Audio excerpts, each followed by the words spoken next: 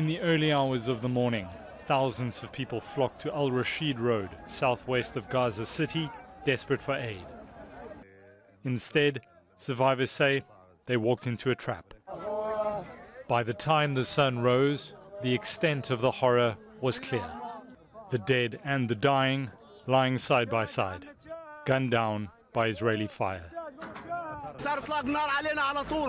The Israelis just opened random fire on us as if it was a trap. Once we approached the aid trucks, the Israeli tanks and warplanes started firing on us. If this continues like this, we do not want any aid delivered at all. Every convoy coming means another massacre. Instead of aid, they've come away with the dead. By donkey cart, car, and makeshift stretchers, the wounded are taken to nearby hospitals, all of which are overwhelmed and barely functioning.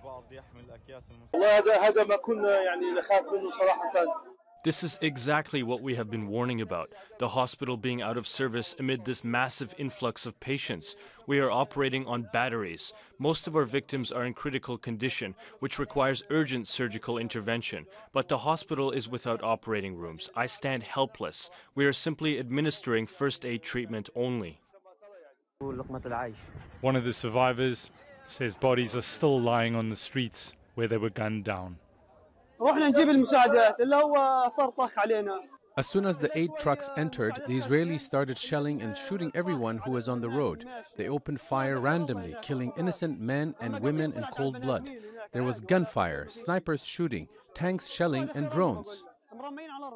Palestinians are left with few options starve to death slowly or risk losing their lives collecting aid. Mike Appel, Al Jazeera.